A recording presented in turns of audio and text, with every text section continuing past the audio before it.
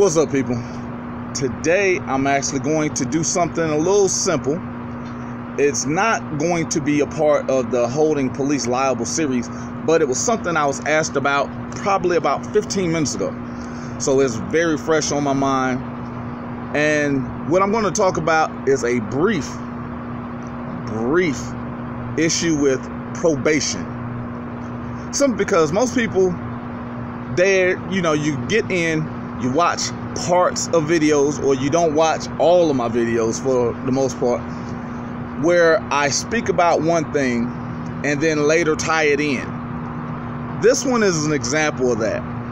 And the reason why we speak about probation is because what happens is it becomes a contractual obligation in which they use to imprison or restrict one's liberty as a result of maybe non payment or some other means of not being able to feed the system, but uh, for lack of a better term.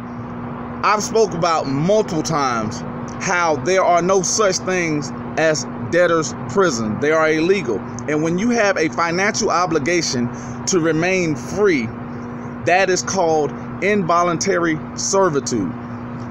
Now, a while back, in 1983 to be exact, there was a Supreme Court case, Bearden v. Georgia, 461 US 660. And the decision was probation may not be revoked solely because the defendant was unable to pay fine or restitution and without consideration of alternative means of punishment. Now, a lot of times when you're dealing with probation, they are actually a third party. They are not even affiliated with the state.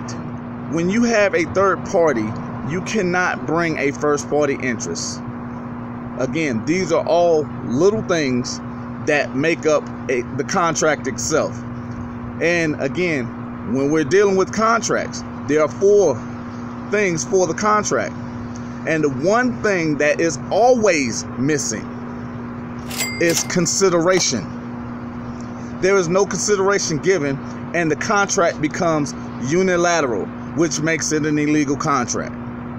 So, understanding how probation works, understanding if you accept the the ideals or the restitution or whatever the responsibility, and you're and it's deemed probation, understand it's a contract.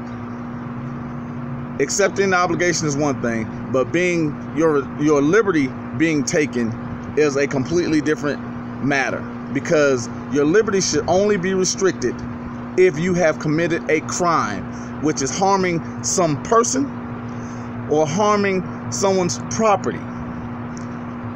And other than that, a contract should not be part of taking your liberty. So until next time.